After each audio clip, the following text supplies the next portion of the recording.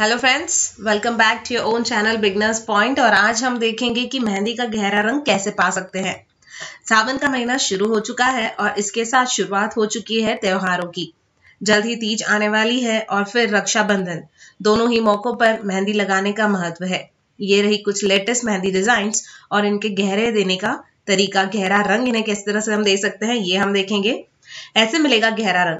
साफ़ हाथों पर मेहंदी लगाएँ, सबसे पहली चीज़, सबसे बहुत ही इंपॉर्टेंट पॉइंट है ये, मेहंदी लगाने से पहले अपने हाथों को अच्छे से धोकर साफ़ कर ले, लेकिन कोई क्रीम या लोशन उस पर ना लगाएँ। ये बात अक्सर हम लोग भूल जाते हैं।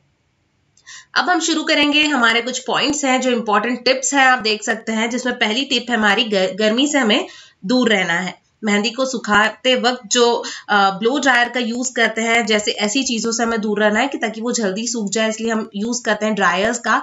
इन चीज़ों का यूज़ ना करें। इनमें से निकलने वाली जो गर्म हवा है, उसकी वजह से मेहंदी जो है वो मेल्ट हो सकती है और उसके कारण आपकी डिज़ाइन खराब हो सकती है। सेकेंड हमारा टिप है वैक्सिंग और स्क्रबिंग ना करें।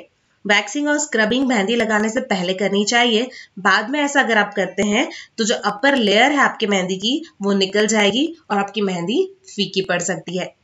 चीनी और नींबू का मिक्सचर ये तो बहुत इंपॉर्टेंट है और ये पॉइंट मोस्टली सबको पता होता है।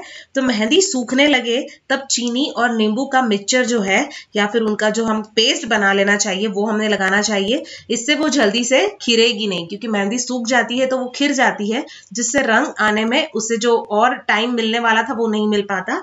तो इसलिए हमें ये उसके ऊपर लगाना नींबू और चीनी का मिक्सचर जिससे उसका रंग अच्छा आएगा। वो बहुत देर तक आपके हाथों पर बनी रहेगी, चिपकी रहेगी। नेक्स्ट हमारा पॉइंट है कि हमें सरसों का तेल लगाना चाहिए। सरसों का तेल जो है, मेहंदी को हटाने से 30 मिनट पहले हमें इस तेल को लगा लेना है। इससे मेहंदी आसानी से निकल जाती है और उसका रंग भी गहरा आता है।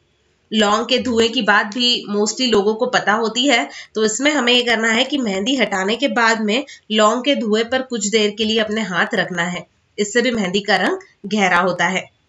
वक्त दें मतलब अपनी मेहंदी को रात में अगर आप लगाते हैं तो बहुत अच्छी बात होगी क्योंकि रात में आपको ये होता है कि आपको काम करने की ज़रूरत नहीं पड़ती है हाथों को काफ़ी देर तक मेहंदी जो है वो चिपकी रहती है बिना किसी आ, निकलने के या उसके ऊपर की जो वो है हम कह सकते हैं मेहंदी वो निकलती नहीं है। अगर रात के समय आप लगाएँगे तो रात के समय मेहंदी का कलर आना बहुत अच्छा होगा।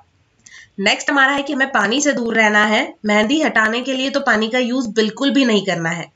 कुछ दिन के लिए साबुन वाले पानी से बचना है और काम करने के दौरान आप ग्लव्स का इस्तेमाल कर सकते हैं ताकि मेहंदी के, मेहंदी जो है आपका वो पानी के कॉन्टैक्ट में ना आ पाए।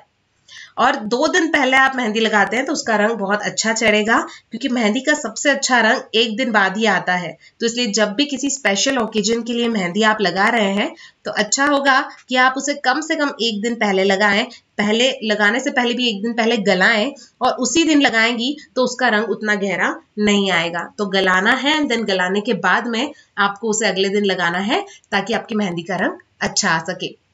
अब हम देखें कि कोई प्रॉब्लम ना हो, इसके लिए हमें क्या करना है? तो अक्सर लोगों को मेहंदी लगाने की वजह से स्किन के प्रॉब्लम होने लगते हैं। जैसे दाने या जलन, इस तरह की प्रॉब्लम्स होने लगती है। और ऐसी प्रॉब्लम्स को दूर रखने के लिए आपको किस चीज़ का ध्यान रखना है?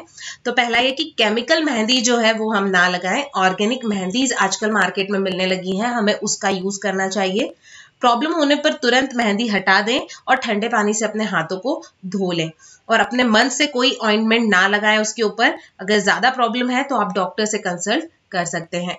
तो इस तरह की ये चीज़ें ध्यान रखना बहुत ज़रूरी है और आई होप कि आपको ये टिप्स बहुत पसंद आई होंगी और डेफिनेटली आपके काम आएँगी, जिसे आप अपने अब मेहंदी लगाने के समय में यूज़ कर सकते हैं।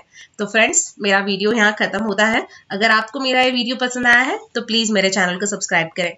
और वीडियो को लाइक करना ना भूलें। Thank you so much thanks a lot